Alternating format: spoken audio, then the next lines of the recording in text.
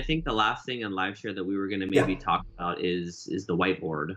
And so one of the things that's kind of cool about the whiteboard, and I don't know if you want to click on that in the tree to pull it up, Michael. I do have the whiteboard open now. I'm going to close out a few of these. Oh yes. So this is uh yeah.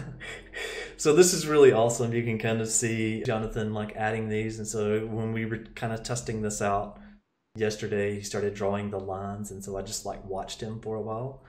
And I guess what's going to be really cool with this is that we're already inside of Visual Studio Code.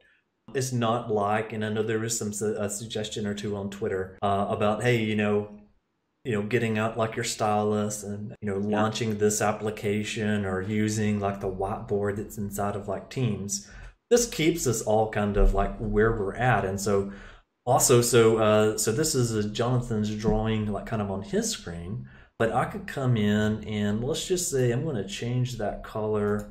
I'm going to go with the red here. and so now I'm starting to draw, I'm starting to draw mine. And so uh, if I go ahead and minimize or I change desktops here, and I switch back over to here. This is Jonathan's uh, screen right here. So uh, he can see those as well. And so if I went ahead and uh, on my end, you know, start playing with this a little bit more. I'm just going to type in, you'll see it appear on his screen.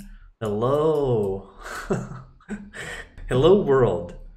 So I think that's kind of, uh, I think that's pretty cool. Yeah, and then if we have, you know, if we we accept the fact that our drawing is is pretty terrible, we can just clear it and start afresh. Um, one thing, you know, that I just want to call out too is so the whiteboard is actually an additional extension that does not come core with live share And one of the things that's that's kind of neat about it is that it illustrates that LiveShare out of the box provides kind of real-time collab for the core editing experience, so terminals, servers, debugging, files, etc.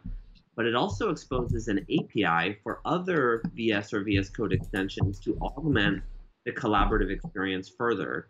Um, and so the whiteboard is an example of adding a visual whiteboard on top of the existing live share feature set so that you can collaborate in different ways, right? So some people, whether you're doing maybe conversations where every so often just being able to express something visually is a little bit easier, it kind of gives you another option. And so actually LiveShare has a pretty rich ecosystem of other things that you can do with it and so in that sense, it's almost kind of like a, a collaboration platform for developers um, within Visual Studio and Visual Studio Code. So that's that's kind of the gist of LiveShare. Um, you know, and so so really between VSO and LiveShare, that's kind of been the core of my team's focus for a little while. Where like, how do we make remote development and collaboration um, not just easier and more productive, but like more enjoyable.